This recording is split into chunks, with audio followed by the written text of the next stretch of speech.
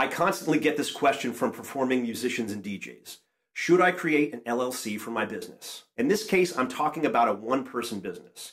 So you don't have any employees, you handle all the finances, and you pay people as 1099 contractors. All right, guys, if you find this information useful, please like and subscribe. First of all, what is an LLC? An LLC or limited liability company is a legal business structure that protects the owner's personal assets from the company's debts. In other words, it's a distinct entity, which means that there is a financial barrier between the company and the owner. For liability, a business creditor cannot legally go after your personal assets if your business is sued or unable to pay its debts.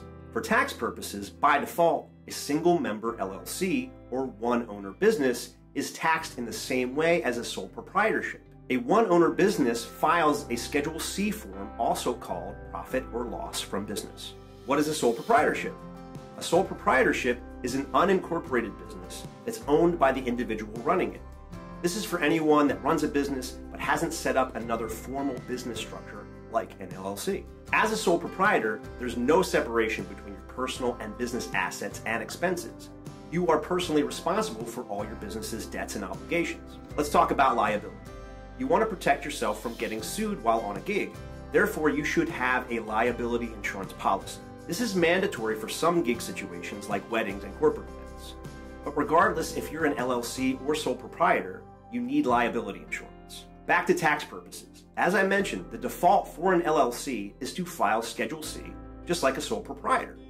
So where's the tax benefits for LLCs? As a one owner business LLC, you could choose to file your taxes as an S Corp.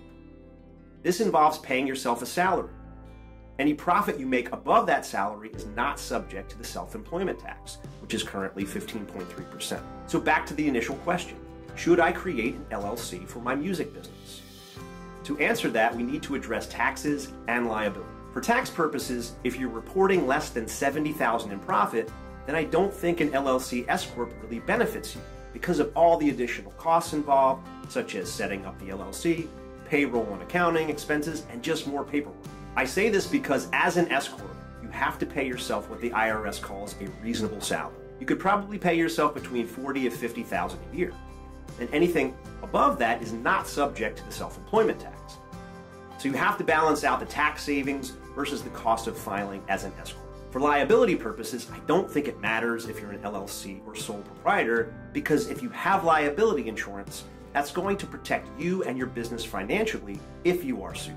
I think that a lot of us feel that creating an LLC somehow legitimizes our business. But sometimes adding LLC to your business name is just a vanity title that costs you more money.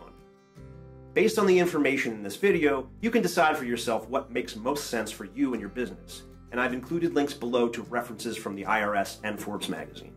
Alright guys, I'll see you in the next video.